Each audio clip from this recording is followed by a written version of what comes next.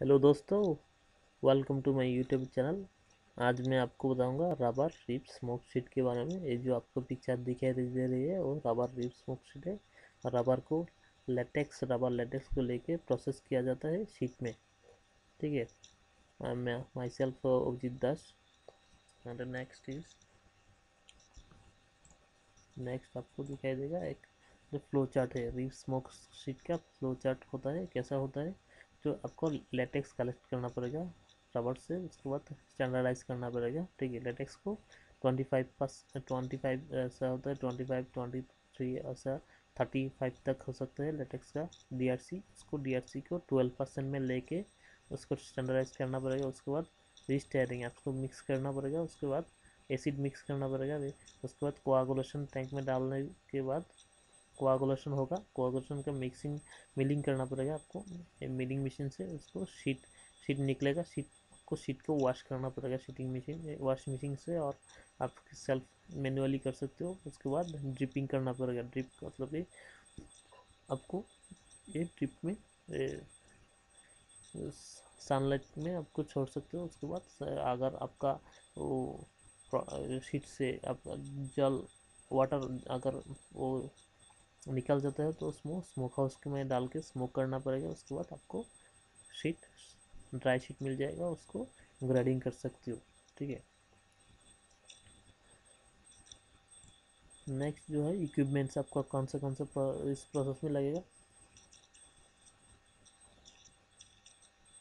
Process में aluminium aluminium dish आपको लगेगा बकेट लगेगा मेजरिंग सिलेंडर लगेगा रोलर मशीन लगेगा सीविंग सीविंग लगेगा, आपको सीव मशीन लगेगा उसके बाद आपको chemical require for the latex आपको formic acid golden touch anti fungal होते हैं गोल्डन टच आपको ये केमिकल आपको चाहिए, ठीक है देखो स्टैंडर्ड रबर ऐसे कलर का हनी कलर का होते हैं। तो आपको process of mixing water with latex आपको क्या होता है लेटेक्स का डी आर सी होता है, वो ट्वेंटी से लेके ट्वेंटी से लेके थर्टी फाइव तक मिल जाएगा आपको। Season wise season wise vary करता है इसको तो वो आपको डिक्रीज करना पड़ेगा। कहाँ तक? ट्वेल्व पॉइंट फाइव तक आपको लाना पड़ेगा, ठीक है? इसको तो नेक्स्ट इज़ एसिड मिक्सिंग आपको उस ट्वेल्व पॉइंट फाइव के साथ एसिड मिक्स करना पड़ेगा। एसिड मिक्स के लिए फ़र्स्ट आपको एसिड डाइल्यूट करना पड़ेगा। कितना? Five gram formic acid with five litres of water ठीक है? उसके वो मिक्सिंग जो डाइल्यूटेड एसिड है उससे ट्वेंटी टू हंड्रेड एम आपको पर एक से दो वन पॉइंट फाइव से टू लीटर लेटेक्स में मिक्स करना पड़ेगा उसके बाद ट्वेंटी टू लगभग ट्वेंटी फोर आवर्स के लिए आपको छोड़ देना पड़ेगा वो तो कोआगुलेशन हो, हो जाएगा। कोआगुलेशन को आपको लेके मिलिंग करना पड़ेगा ठीक है? तो x one point five to two litre होने से आपको जो शीट है शीट का आपका फाइव हंड्रेड ग्राम का शीट मिल जाएगा ठीक है? तो स्टैंडर्ड रबर में जो शीटिंग में आपका शीट कितना हो सकते हैं? आपका फाइव हंड्रेड ग्राम ही होना चाहिए ठीक है? उससे ज़्यादा ना ना कम। उसके बाद नियर अबाउट हो, हो सकती है अच्छा।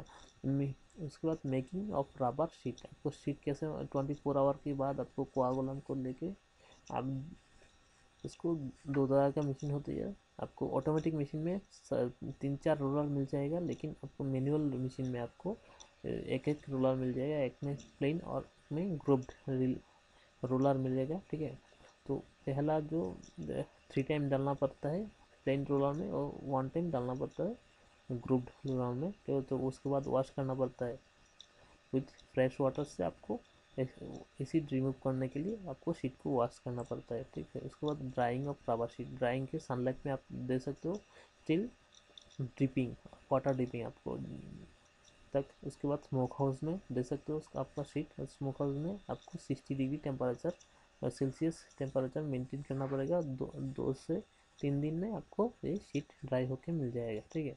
तो अगर आपके पास स्मोक नहीं है तो आपको क्या कर सकते हो? स्मोक को सनलाइट में दे के रख सकते हो तो वो पाँच से छः दिन में आपको सनलाइट में ड्राइंग हो जाएगा, ठीक है? तो उसका क्वालिटी नहीं आएगा क्वालिटी बढ़िया नहीं आएगा, सब काज में वो नहीं यूज़ हो सकती है, ठीक है? अगर क्वालिटी अच्छा करना हो तो तो स्मोक हाउस में आपको करना चाहिए, ठीक है?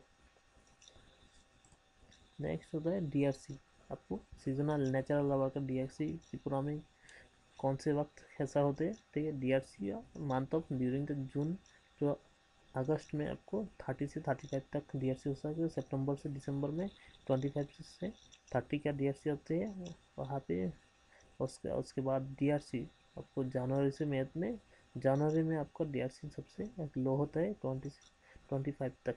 तो वो एंड अप्रैल में आपको मिल जाएगा थर्टी फाइव से थर्टी एट तक। ठीक है, ये आपका डी आर सी जो होते हैं, वो सीजनाइज वेरी करते हैं, उसके बाद भी जो आपका प्लांट है प्लांट के हिसाब से भी वेरी करता है, ठीक है? प्लांट पुराना है तो अच्छा डी मिलेगा, नया हो तो लो डी मिलेगा, उसके बाद तो उसका भी क्लोनिंग है प्लांट का क्लोनिंग के ऊपर भी डिपेंड करता है लेटेस्ट का डी ठीक है?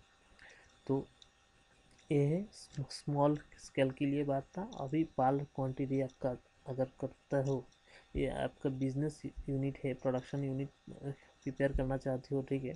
तो रबर प्रोसेसिंग के लिए तो बाल क्वान्टिटी के लिए आपको मशीनरी लग जाएगा कंपाउंडिंग है फ़ील्ड एटी फ़ील्ड रबर लेटेक्स आपको ट्वेल्व पॉइंट फाइव परसेंट लेके दो लीटर लेना पड़ेगा वार्मिक एसिड आपका इतना परसेंटेज होने से टू हंड्रेड एम उसके बाद एंटी फंगल होना चाहिए zero point zero five percent उसको टू हंड्रेड एम उसके बाद ट्वेंटी फोर आवर आपको छोड़ देना है उसको टैंक में लेके।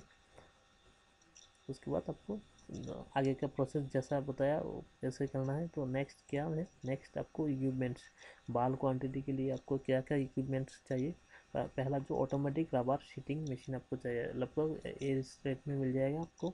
रबर शीट वॉशिंग मशीन आपको लेना चाहिए। रबर शीट कोआगुलेशन टैंक ठीक है? उसमें एक ही टैंक में आप फिफ्टी सीट एक साथ बिठा सकते हो, ठीक है? तो ऐसा स्मोक हाउस आपको होना चाहिए। स्मोक हाउस फार्नेस होना चाहिए, ठीक है? आप जो फोक स्मोक हाउस में आप, जैसे वुडन फोक वुडन होगा तो उसमें आप फायर करने के लिए एक फार्नेस होना चाहिए, ठीक है? वाइंग मशीन होना चाहिए आपका लेटेक्स खरीदने के लिए और माल को डिलीवरी देने के लिए आपको वेट करके सप्लाई करना पड़ेगा तो वेट मशीन होना चाहिए आपको। डीआरसी एस्टिमेट के लिए इक्विपमेंट्स होती है। तो छोटा वाला वेट मशीन उसके बाद हॉट एयर ओवन ऐसा बहुत सारा है। तो वो खरीदना चाहिए, आपको प्लांट में होना चाहिए। उसके बाद आते हैं पावर जनरेटर पावर जनरेटर आपको ये सब मशीन जो है, सब इलेक्ट्रिक है इलेक्ट्रिक पावर से चलता है। तो आपको अगर इलेक्ट्रिसिटी आपका चला जाता है तो काम बिगड़ जाएगा आपको। इसीलिए आपको 15 के का एक पावर जनरेटर चाहिए। ये है machinery automatic rubber sheeting machine next washing machine rubber sheet washing machine next है कोआगुलेशन टैंक ठीक? बहुत सारा कंपनी है जो प्रिपेयर करता है कोआगुलेशन टैंक इसमें क्या होता है? इसमें आप अगर यूज़ करते हो तो लेबर चार्ज कम लगता है। मतलब कि अगर एक एक बीज यूज़ करते हो तो एक एक शीट के लिए तो उसमें लेबर चार्ज ज़्यादा होती है, ठीक है? ओवरऑल कॉस्ट जो आता है, ज़्यादा आ जाती है। तो ये अगर लॉन्ग टाइम के लिए आप प्रोसेस करना चाहते हो तो इसमें कोआगुलेशन टैंक अच्छा है। उसके बाद ये है एक फैक्ट्री का स्मोक हाउस का पिक्चर है। स्मोक हाउस कैसा होता है? एक, दो, तीन, चार चार डोर का स्मोक हाउस है। तो क्या होता है इसमें? हर दिन का जो जितना भी शीट निकलता है, वो हर दिन स्मोक हाउस में चला जाता है और उसको तीन दिन में आ, वो निकल आता है ठीक है? तो यहाँ पे कुछ स्टॉक्स नहीं रहता प्रोसेसिंग के प्रोसेसिंग में रहता है ठीक है? तो ये है फार्नेस ठीक है फार्नेस का picture next quality of the product आपका क्वालिटी कैसा होगा? Quality of the product depend on the cleanness of the production area आपका प्रोडक्शन एरिया अगर साफ़ सुथरा है तो प्रोडक्शन अच्छा होगा। उसके बाद आप और एक है, बहुत सारा कंडीशन है, उसमें और एक डी एस सी मेंटेन आपको twelve point five D S C maintain करना चाहिए। सो आपका जो शीट का वेट है 500 ग्राम आने से। उसके बाद आपका सीविंग होना चाहिए। लेटेक्स को आपको पहले प्रोसेसिंग में डालने से पहले आपको सीव करना चाहिए। वो forty and sixty mesh sieve से आपको सिप करना चाहिए। उसके बाद temperature adjustment of smoke house, आपको टेम्परेचर एडजस्टमेंट करना चाहिए ठीक से। सिक्सटी डिग्री होने से आपको दो से तीन दिन में आपका मिल जाएगा और स्मोक भी आपको देखना चाहिए, स्मोक कैसा है। स्मोक ज़्यादा होने से उसका कलर बिगड़ जाएगा। तो नेक्स्ट है हमारा त्रिपुरा। त्रिपुरा जो स्टेट है, वो सेकेंड लार्जेस्ट रबर प्रोड्यूसिंग है। यहाँ पे क्वालिटी का कुछ देखभाल ठीक से नहीं होता है, क्योंकि सभी आलसी है तो ऐसा फैक्ट्री आप अगर लगा सकते हो तो अच्छे लगभग फिफ्टीन लाख का करीब आएगा expenditure and thank you for watching like share and subscribe my channel आज के लिए इतना ही।